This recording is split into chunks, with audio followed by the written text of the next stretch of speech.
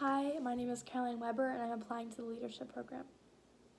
The first question is What are you looking forward to most about going to college?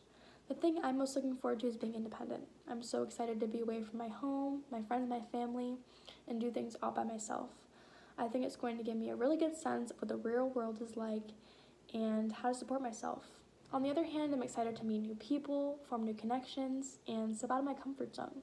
The next question is Can you talk about a time where you had to handle disappointment? A time where I had to handle disappointment is when my mom told me she was not going to be able to send me to private school. Growing up, I wanted the best education possible, and this private school was just that. When I was in eighth grade, I applied to the school, I got in.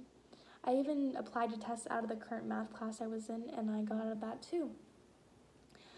I was even at the point where I had my name on a locker where my mom finally told me that she was not going to be able to send me to the school. I was devastated at the time and I heavily resented her.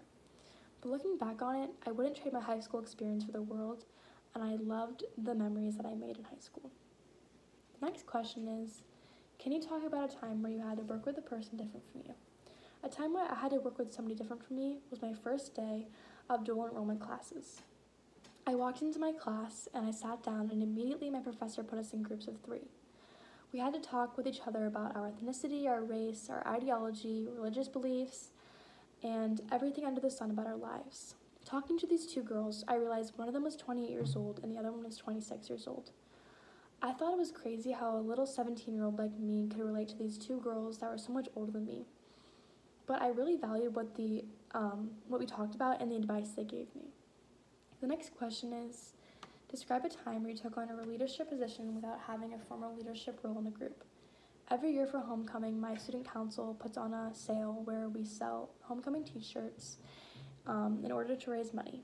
So this year, nobody wanted to put on this fundraiser, and little old me was like, okay, well, I'll put this on by myself.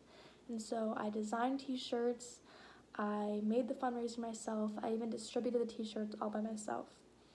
We raised over $600 with the fundraiser, and I was able to hand my advisor a big check and helped out a lot for our um, for our student council this year. So that was really great.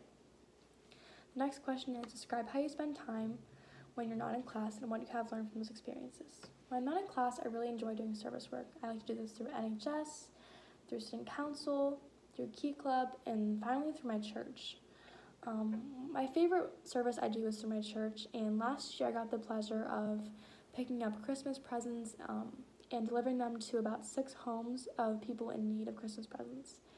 And this was a really valuable and a heartwarming experience to see the look on these people's faces when they finally got to um, get presents for, for once.